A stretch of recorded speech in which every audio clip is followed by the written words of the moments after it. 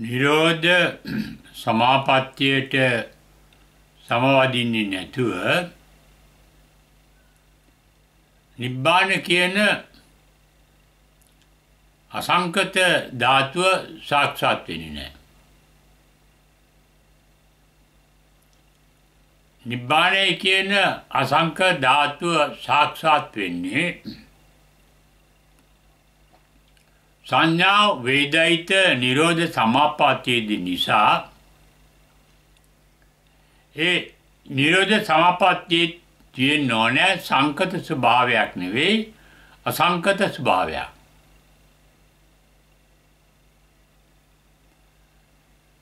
අෂ්ටම ධානවලම තියෙන්නේ සංකත ස්වභාවයක් සකස් වෙන ස්වභාවයක්. ඒ සංකතවල ලක්ෂණ අංගුත්තර නිකායේ පළවෙනි කාණේදී බුදුහාදුරුව පැහැදිලි කරනවා. ඉපදීමක් තියෙනවා. පදෝ පඤ්ඤායති. වයෝ පඤ්ඤායති. පිටස්ස අඤ්ජතත්ත පඤ්ඤායති. ඉපදීමක් තියෙනවා. දි รา පත් වීමක් තියෙනවා. වෙන තත්වයකට පත්වීමක් තියෙනවා. හැම ධානයක්ම ධානයට ආරම්භයක් තියෙනවා. ඒ ධානයේ පැවැත්වීමක් තියෙනවා. ඊළඟට ඒ ධානයේ අවසානයක් තියෙනවා. නැතිවීමක් තියෙනවා. ඒ කියන ධානයෙන් අවදි වෙනවයි කියලා. ධානයේ නැගී සිටිනවා කියලා කියනවා. ඒ වගේ ධ්‍යාන අටක් ගැන බුදුහාදුරු බුදු වෙන්න කලින් බමුණු මතවල තිබුණා. වේදවල තිබුණා. බමුණන් භාවිතා කළා. ඒ ධ්‍යාන අටෙන් හතරක් රූපාවචර. රූපාවචර කියන්නේ රුප්පණයක් තියෙනවා. ස්පන්දනයක් තියෙනවා. කම්පනයක් තියෙනවා. වයිබ්‍රේෂන් තියෙනවා. හැබැයි වයිබ්‍රේෂන් කියන දේවල් කම්පන තියලා ටිකෙන් ටික අඩු වෙලා යනවා. අරූපාවචර ධානය හතර ඊළඟට තියෙන්නේ කම්පන දැනෙන්නේ නැහැ. කම්පන තියෙනවා. හැබැයි කම්පන දැනෙන්නේ නැහැ. දැනෙන්නේ හිස් බවක්. ආකාසානං ඡායතනෙදි දැනෙන්නේ අවකාශයක් හිස් බවක් දැනෙනවා. ඒ වගේම අනිත් සමාධි තුනේ. අරූපාවචර සමාධි තුනේම. දැනෙන්නේ අන්තිම සමාධිය අෂ්ටම ධානය කියන. නේව සංඥා නා සංඥායතනෙදී හැබැයි දැනෙන ගතියක් තියෙනවා. සංඥාව දැනනවද නැද්ද කියන්න බැරි ගතියක් තියෙනවා. බුදුහාඳුරෝ ඔය අෂ්ටම ධානයේ ඉක්මවා ගිය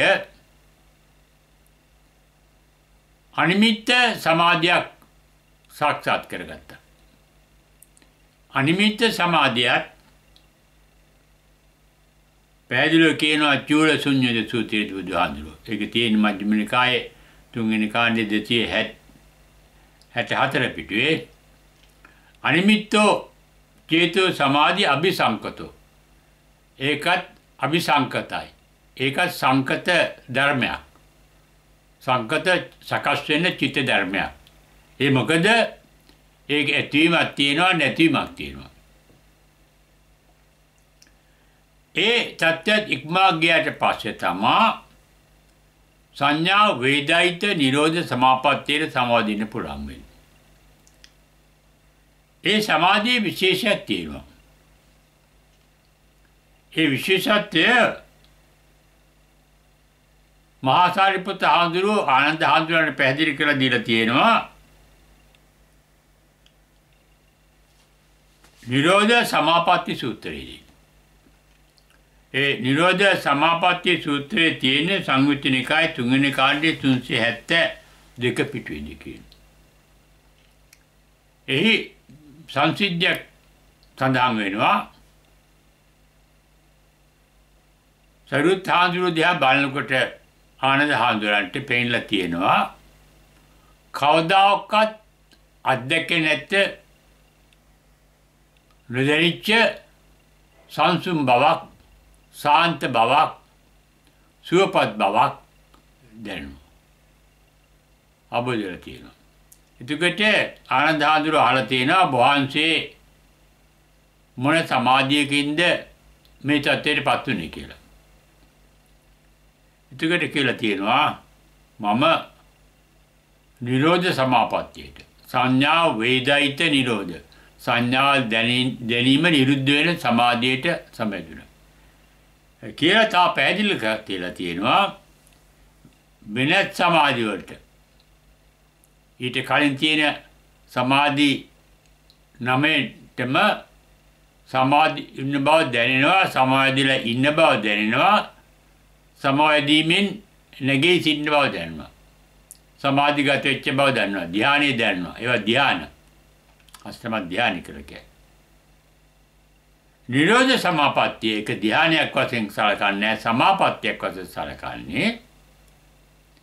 ඒදී කිසිම සංඥාවක් දැනෙන්නේ නැහැ. ඒකයි සංඥා වේදාති නිරෝධ සමාපත්තිය කියලා කියන්නේ. ඒ සමාපත්තියේ සම්මාදීන බව දැනෙන්නේ නැහැ. සමාධිලා සමාපatti ඉන්න බව දැනෙන්නේ නැහැ. ඒ සමාපත්තිය නෙගෙචින්න බව දැනෙන්නේ නැහැ. ඒකයි සංඥා වේදායිත නිරෝධ සමාපත්තියේ තියෙන විශේෂත්වය. ඒ විශේෂත්වය තුළ දක්න ලැබෙන්නේ නිබ්බාන කියන තත්ත්වේ තියෙන ස්වභාවය. මොකද්ද නිබ්බාන කියන තත්ත්වේ තියෙන ඒක අසංකත ධාතුවක්. ඒක ධම්මයක් නෙවෙයි. ධම්ම කියන්නේ හිතේ දැනෙන දෙයක්. ධාතුවක් කියන්නේ හිතේ දැනෙන්නේ නැති දෙයක්. ඒ ධාතුව පදනම් කරන තමා ධම්ම පහළ වෙන්නේ.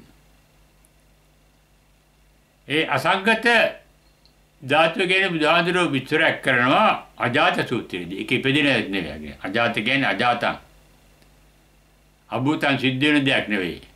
අකතං කරන දෙයක් නෙවෙයි. අසංකතං සකස් වෙන දෙයක් නෙවෙයි.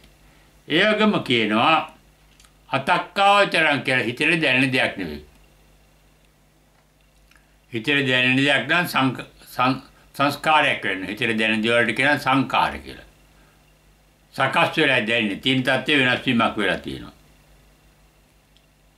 ඒ වගේම හිතේ දැනෙන්නේ හිතේ ඉපදෙන දෙයක්. අසමප්පන්නයි මේ තත්ත්වය. අදාචුත්‍රි කියනවා නිබ්බාන කියන තත්ත්වය ඉපදෙන දෙයක් නෙවෙයි. ඒක තියෙනම දෙයක්. සනාතන ස්වභාවයක්.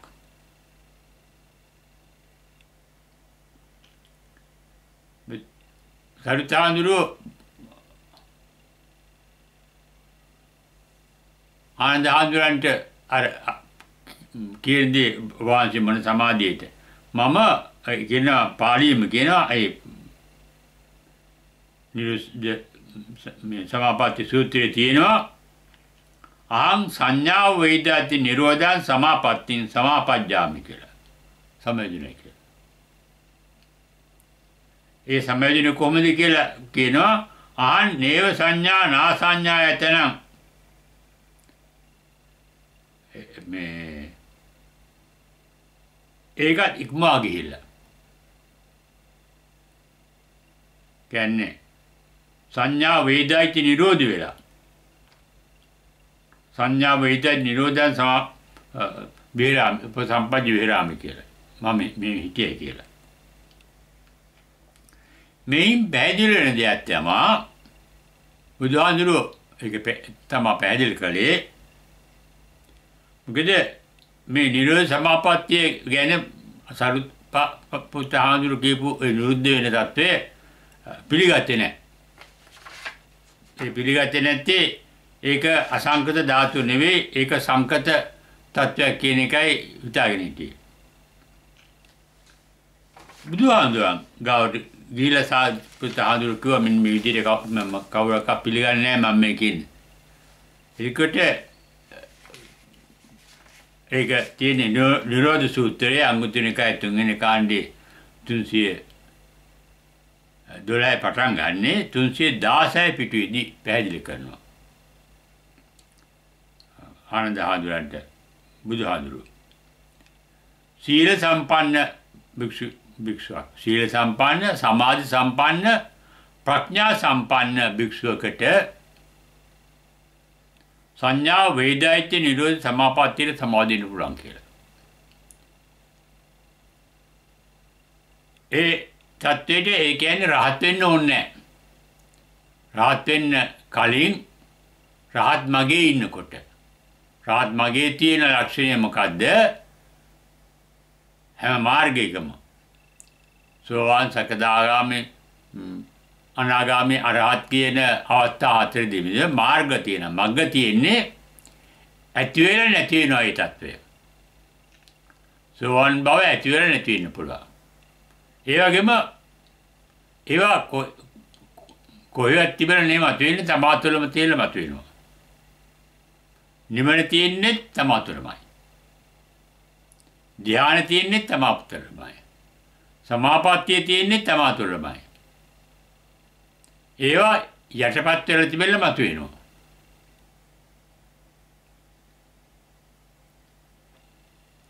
ඒ මතුවීම රහත් වීම අවශ්‍ය වෙන්නේ නැහැ.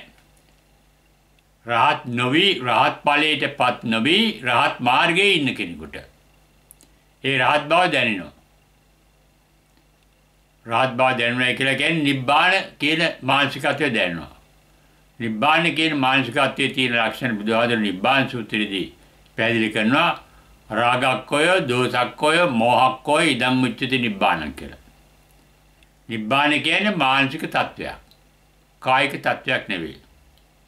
හැබැයි ඒ මානසික තත්වය මානසයට දැනෙන්නේ නැහැ. ඒකයි ඒකට අතක් අවචරණ කියලා කියන්නේ. ඒ වුණාට බුදුහාමුදුරු සූත්‍ර කීපයකදීම සඳහන් කරලා තියෙනවා ඒ නිවන් සුවය කායට දැනුණා කියලා. ඒ කායට දැනෙන නිවන් සුවය ගැන නිබ්බාන සුඛ සූත්‍රයේදී බුදුහාඳුරු කියනවා කායට දැනුණාට හිතට දැනෙන්නේ නැහැ කියලා.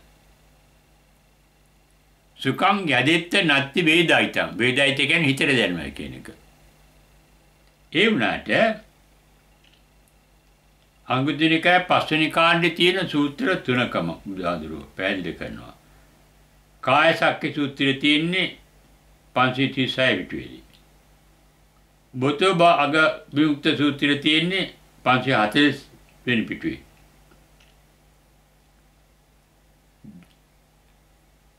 ධාතු ඊළඟට පඤ්ඤා විමුක්ත සූත්‍රයේ තියෙන්නේ 538 පිටුවේ. කාය සක්්‍ය සූත්‍රයේ තියෙන්නේ 536 පිටුවේ. උබතෝ භාග විමුක්ත සූත්‍රයේ තියෙන්නේ 540 වෙනි පිටුවේ. ඒ සූත්‍රයේදීම සඳහන් වෙන බුදු වචනයක් තියෙනවා. ඒ තත්ත්වයට පත් වෙනාම කායන පස්සිත්වා විහෙරති කියලා.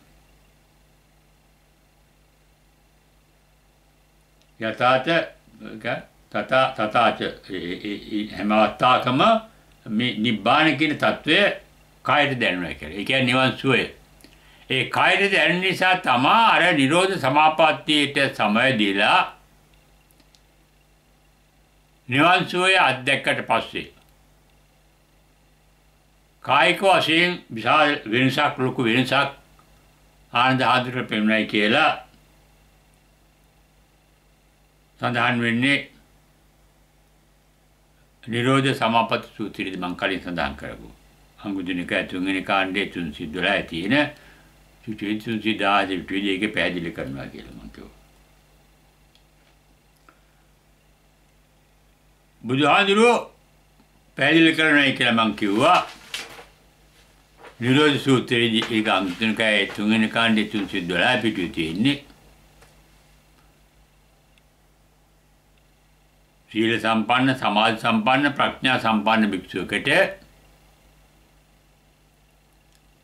නිරෝධ සමාපත්‍ය සමාධිය ඉන්න පුළුවන් කියලා. ඒ කියන්නේ රහත් වෙන්න ඕනේ නැහැ. ඇත්තවසයෙන්ම නිරෝධ සමාපාත්‍ය සමාධියේ පළවෙනි වරට රහත් වෙන්න කලින් ඒ සමාපාත්‍යයේ සමාධියුණාට පස්සේ තමයි රහත් වෙන්නේ. රහත් වෙන්නේ නිබ්බාන කියන தത്വෙට හිතපත් වුණාම.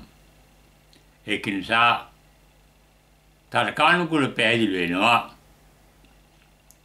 නිරෝධ සමාපත්තියට සමාදින්න නැතුව නිවන සාක්ෂාත් කරගන්න බැරි නම් නිවන සාක්ෂාත් වෙන්න කලින් තමයි නිරෝධ සමාපත්තියට සමාදින්නේ. ඒ කියන්නේ rahat වෙන්න ඕනේ නැහැ. නිරෝධ සමාපත්තිය සමාදින්න. ඒ වගේම මේ නිරෝධ සමාපත්තිය කියන తত্ত্বය කොහෙන්වත් ගන්න දෙයක් නෙවෙයි ඒ தત્ත්වයේ තියෙන තමා තුළමයි. නිරෝධ සමාපත්තිය පමණක් නෙවෙයි නිරෝධය තියෙන්නේ තමා තුළ. නිරෝධය කියලා කියන්නේ නිවන. නිබ්බාන කියන தત્ත්වය. කිසිම සම්බන්ධතාවක් නැති தત્ත්වය. ඒක නිමිත්තක් නෙවෙයි ඒක අනිමිත්ත කියලා කියන්නේ. ඒක අතක්කවචන කියලා හිතේ දැනෙන දෙයක් නෙවෙයි. අසමුප්පන්නං කියලා අජාසූත්‍රෙදි කියන්නේ ඒක අලුතින් ඉපදෙන දෙයක් නෙවෙයි. මේ පැහැදිලි වෙනවා හැම කෙනෙකුටම සීල සම්පන්නව ප්‍රඥා සම්පන්නව සමාධි සම්පන්න. සමාධි කියලා කියන්නේ හිත සමාධිගත වෙලා කෙලෙස් යටපත් වෙලා තියෙනකොට ඒ නිවන කියන ශූන්‍යත්ව ශුන්‍යතා කියලා නිවන හඳුන්වන්නේ. රාතන් වාසල අත්දකින්න නිවන කියන එක බුදුහාමුදුරු පැහැදිලි කරනවා ශුන්‍යතෝ කියලා. අනිමිත්තෝ කියලා. ඒ තත්ත්වය අලුතෙන් හැදෙන දෙයක් නෙවෙයි ඒකයි අසංකත කියලා කියන්නේ. එහෙම නැහැ හැමදාම තියෙන දෙයක්. සනාතන ස්වභාවයක්. හැබැයි යටපත් වෙලා තියෙන. යටපත් වෙලා තියෙන්නේ සංකත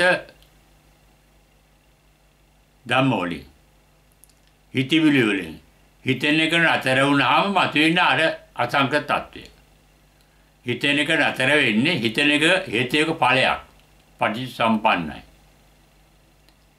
ඒකේ හේතු තුනක් බුදුහාඳුරෝ තියෙනවා කියලා යමක් ගැන හිතන්නේ ඒ ගැන රාගයක් හෝ ද්වේෂයක් හෝ මුලාවක් හෝ ඇතුණාම. රාග දෝෂ දෙකටම හේතු වෙන මුලාව. රාග දෝෂ මොහ නැතුණාම සංකත ස්වභාවය නැති වෙනවා. සංකත ස්වභාව කියන්නේ සංස්කාර විසංකාරගතං චිත්තං කියලා බුදුහාඳුරේ පළවෙනි උදාහරණයේදී බුද්ධත්වයෙන් පස්සේ පද බුද්ධත්වයේදී මගේ හිත විසංකාරගත වුණා ඒ தත්ත්වය කවදාකවත් අත්දැකලා තිබුණේ නැහැ ඊට ඉස්සෙල්ලා. අහලවත් තිබුණේ නැහැ ඒකයි ධම්මචක්කපවත්තන සූත්‍රයේ දුන්නාන්සේ කියන්නේ නිවන් දැක්ක වෙලාවේදී බුදු වෙච්ච වෙලාවේදී පුබ්බේසු අනුසුතේසු ධම්මේසු චක්කුම් උදපාති. මට දැනුණා. චක්කුම් කියලා ඇහැ උදාවනා නෙවෙයි. මගේ හිතේ දැනුණා. ඥානං උදපාදි මේ කවදාකවත් අහලා හිටිය තිබිච්ච දැනගෙන හිටිය දෙයක් නෙවෙයිනේ කියන එක දැනුණා ඒ පාරම ඥානෙ පඤ්ඤා උදපාදි ඒ ඥාණයෙන් එන දෙයක් නෙවෙයිනේ. අහලා එන දෙයක් නෙවෙයිනේ. ඉන්ද්‍රිය ගෝචර දෙයක් නෙවෙයිනේ. අතීන්ද්‍ර ගෝචර තත්ත්වයක් ප්‍රඥාව කියන්නේ ඒකයි. ප්‍රඥාව ඒකට කියනවා එක්ස්ට්‍රා සෙන්සරි පර්සෙප්ෂන් කියලා ඉංග්‍රීසියෙන්. ඒක ඉන්ද්‍රිය ඥානයක් නෙමෙයි අතීන්ද්‍රිය ඥානයක්. ඉන්ද්‍රියෙන් ඉක්මාගේ ඥානයක්. ඒකයි ඒ ඥානයේට ඒ දැනීමට කියන්නේ ලෝකෝත්තර තත්ත්වය කියලා. ලෝකේ ඉක්මා ලෝකේ කියන්නේ හිතන හිතේ හිත තුළ සකස් වෙන දේවල්ට තමයි ලෝක කියලා කියපුවාද කිව්වේ. ඒ පැහැදිලි වෙනවා හිත තුළ බොහෝ දේවල් සකස් වෙනවා චිත්ත රූප තත්ත්ව අන්නේ ඒවා සකස් වීම නතර වුණාම මතුවෙන්නේ අර අසම්පන්න තත්ත්වය අජාත අභූත අකත අසංකත කියන තත්ත්වය අනිමිත්ත කියන තත්ත්වය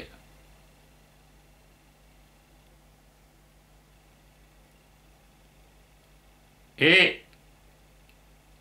තත්ත්වයේ පත් වුණාම ලැබෙන සුවේ තමයි නිබ්බාන සුඛය කියලා බුදුහාඳුරුවෝ නිබ්බාන සුඛ සූත්‍රයේදී කියන්නේ. ඒක හිතට දැනෙන දෙයක් නෙවෙයි කයට දැනෙන දෙයක්. ඒ කයට දැනෙන දේ පිළිබඳ සාක්ෂියක් තමයි මම ඉදිරිපත් කළේ නිරෝධ සමාපatti සූත්‍රයේදී. ආනන්ද ආඳුරු සරුත් ආඳුරන්ගේ දැකලා කවදාකවත් නැති සංසුන් තත්ත්වයක් වහන්සේ තුළ තියෙනවා මොකද්ද හේතුව කියලා ඇහුවම කිව්වා මම සම්ඥා වේදයිති නිරෝධ සමාපatti සමාධියයි කියලා පැහැදිලි කළා. ඒ සමාපත්තියට මම ඕනකම සම්බන්ධුන්නේ ඒක මට දැනුවත් නෙවෙයි ඒක ඉබේ සුභාදරම් ඉබේ සිද්ධ වෙන දෙයක්. නිවන් දකින්න එකත් ඉබේ සිද්ධ වෙන දෙයක්. නිවන් දකින්න නිබ්බාන සමාධි සමාධින එකත් ඉබේ සිද්ධ වෙන දෙයක්. ඒකට සමාධි නිත්‍යයක් මම දැනගෙන හිටියේ නෑ. ඒ සමාධි ඉන්නවයි කියන එකවත් මට දැනලා තිබුණේ නෑ. ඒ සමාජයෙන් අවදි වෙනයි කියන එකත් මට දැනුන්නේ නෑ. අන්නේ తත්වය තමා අසංකත තත්වයක් කියලා කියන්නේ. ඒ නිසා නිරෝධ සමාපත්තිය කියන්නේ අසංකත තත්වයක් ඒකට ධානයක් කියලා කියන්නේ නෑ. සියලුම දොස් නිරුද්ධ වුණාම පස්සේ ඇති වෙන තත්වයක්. ඒකයි සමාපatti කියලා කියන්නේ. නිර්දෝෂී තත්වයක්. නික්ලේශී තත්වයක් නිර්දෝෂී කියලා කියන්නේ. කෙලස් කියන දේවල් ඇති වෙන දේවල්. ඒවා සංකතයි. නික්ලේශී බව අසංකතයි. ඒක තමයි අපේ හිතේ අප තුල තියෙන අපේ මූලික ස්වභාවය. සනාතන ස්වභාවය. ඒ සනාතන ස්වභාවය තමයි ස්වභාව ධර්මයේ තුල තියෙන. ස්වභාවිකත්වය. ඒ නිසා නිවන් දකින්න කියන්නේ ස්වභාවීකරණය වීම. ස්වභාව ධර්ම. ස්වභාව ධර්මයේ කිසි දෙයක් හිතලා කරන්නේ නැහැ ඒවා කෙරෙනවා. කරන්නේ නැහැ. කෙරෙනවා. හිතන්නේ නැහැ. ස්වභාව ධර්මයේ හිතන්නේ නැහැ. හිතන්නේ නැතුව සිද්ධ වෙනවා. අන්නේ తත්වයේ තමයි අසංකත ධාතුව කියලා කියන්නේ.